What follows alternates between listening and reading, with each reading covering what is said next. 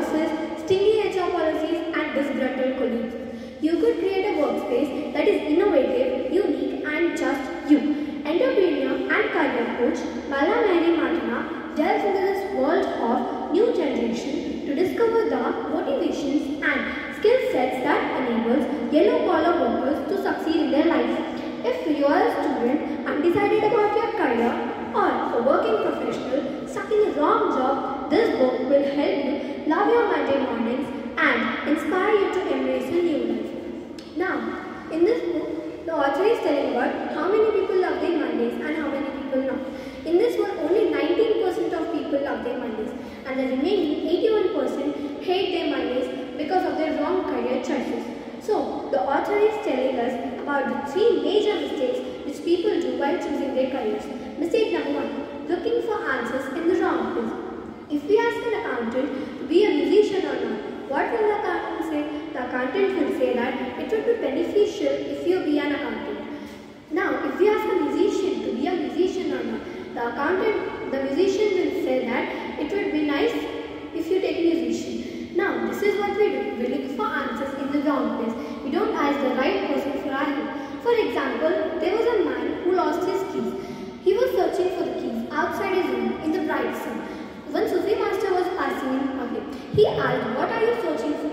The man told, I lost my keys inside my home. So the Sufi master asked, Why are you searching for them outside? So the man told, Because it's bright outside, so I could find my keys faster.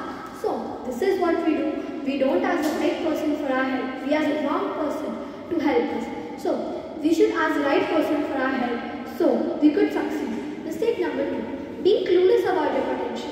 If a student got high marks in biology, is this compulsory that the student has to pursue the medicine line? No, but most of the students do the same, even they don't like it. So you shouldn't do like that. We should do what we like. We shouldn't care about the society or anyone. The work of society is about speaking, but we shouldn't listen to them. We should do what we like. Mistake number three, taking shortcuts. Taking shortcuts are for the lazy people who think their push-ups should be done by others. So many people have made wrong career choices in their quest for this so-called shortcuts, but they don't exist anymore. The author tells us to do one thing every day out of our comfort zone. Suppose if you want to write a story, start writing from an area which is out of your interest. Learning an instrument which you don't like much. Doing that one extra chapter every day. Waking 5 minutes earlier than usual. Doing that one extra lap than usual. You may not understand the benefits of all this today, but you will be thankful for this gift in the future. Now, if you want to love your Mondays, you should be first aware of these three mistakes by choosing careers. Up to 1800s, there were workers called blue-collar workers who exchanged their time for money and worked with their hands. Example, carpenters, plumbers, etc. Post the 1800s, there are workers called white-collar workers who exchange their knowledge and educational qualifications for money.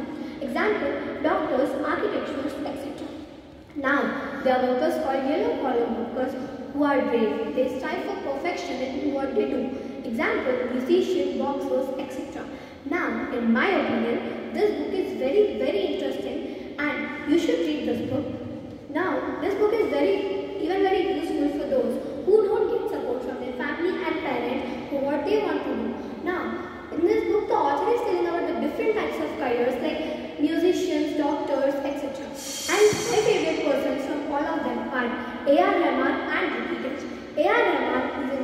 composer and an Oscar winner. Ricky Kej is a musician and a Grammy winner.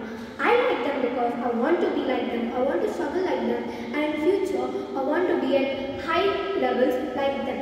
At class, three things that will help you love your Mondays are doing what you love, being really really good at it and connecting with the right people.